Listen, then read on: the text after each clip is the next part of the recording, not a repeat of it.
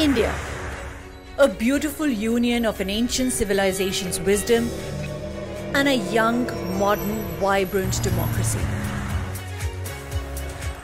Once seeking inspiration from the world, India now is at the cusp of becoming a global leader. Will it become one? Is the trillion dollar question. I explore the opinions of people across sectors, across professions, and across the globe to find out what makes them curious about the India story.